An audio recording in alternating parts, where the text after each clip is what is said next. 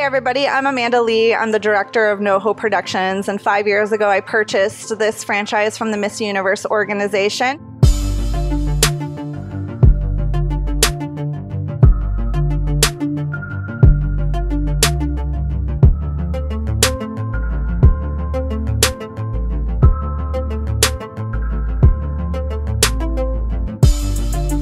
Many of you might not know, but it was formerly owned by our president, Donald Trump. He sold it two years ago to William Morris IMG Models. So this is a place where a lot of models start out, and that's kind of what we're doing here today.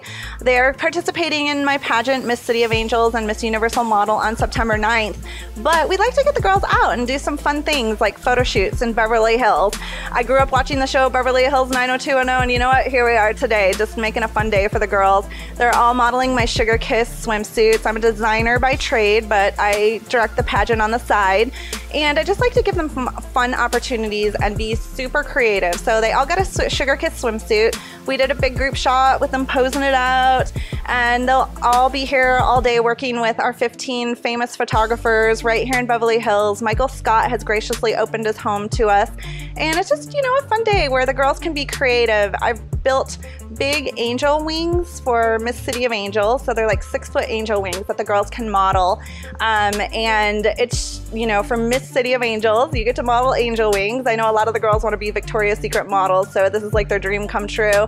And I'm always just looking for ways to change up the scene and give the girls opportunities, get them some great photos. They'll come away today with some amazing photos.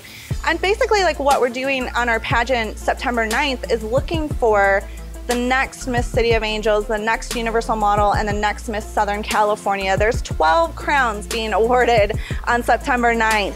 When they win here, then they go on to Miss California USA, and then from there they would go on to Miss USA, and then from there they would go on to Miss Universe.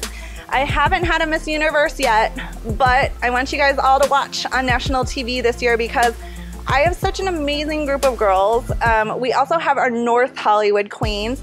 These girls won my pageant back in April, and so they're on set today too, shooting. That's one of the opportunities that they get, being a queen, again, being creative. Um, you guys are gonna meet Rachel McDonough. She just flew in from the fight last night. Did you guys all watch the fight? so she's a ring girl, and um, you know, she's all over the place.